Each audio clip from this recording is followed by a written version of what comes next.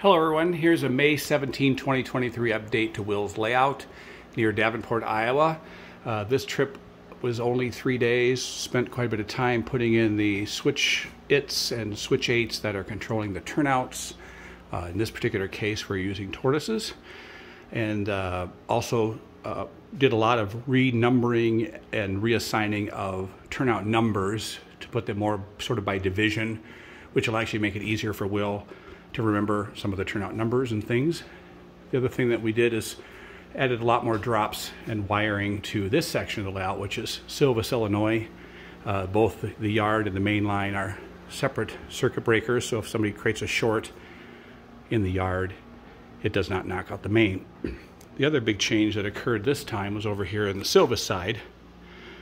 One of the things we were chatting about the other day as we were talking about the signal system is we weren't very uh, weren't, we're not very clear on how we were going to handle some of the signaling circuitry for some of this complex trackage in here as part of a yard throat and some mainline diverging and so on. And I said to Will, it's just really unfortunate that when I designed this, conceptually, I wish I would have given you a better yard lead.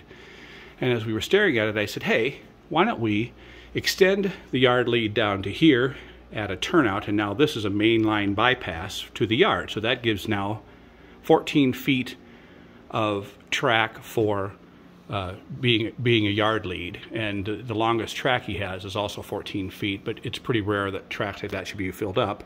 And then the main continues down the hill, uninterrupting anything to do with the yard area and the Peoria train station. So that's really what's been going on this trip, and uh, we'll talk to everyone later on.